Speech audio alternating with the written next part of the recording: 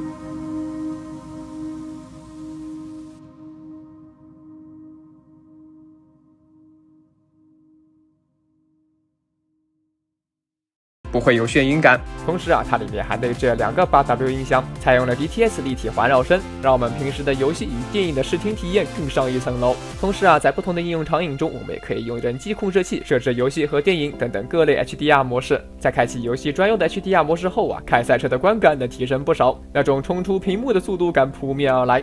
而且对环境光影的提升也很大，自然环境的色彩在这种提升下变得更加写实，接近现实，一下就感觉身临其境感更强了。而电影专用的 HDR 效果也非常棒啊，色彩表现力直追影院啊！就比如我今年最喜欢的这段《流浪地球二》的太空电梯，太空中的光影和速度感都体现得淋漓尽致，能将电影画面发挥出原声级的质感，沉浸感直接拉满。那除此之外啊，它还有很多额外功能啊，就比如我特别喜欢的低蓝光模式啊，相比普通模式啊，眼睛明显舒服了不少。或者在需要双线操作的时候啊，用它的 PVP 双画面展示啊，也非常方便。还有一个比较有用的就是这个 KVM 易用模式功能啊，可以用一套。键鼠在不同设备间快速切换。那么总之啊，如今的显示器在功能上比起当年可谓是翻天覆地。为了让广大用户们换显示器呀，我们可以看见这些年厂家们也是下足了功夫。不过最后到底换不换啊，还得看我以及所有屏幕前的广大玩家们。相信大家都已经有自己的答案了。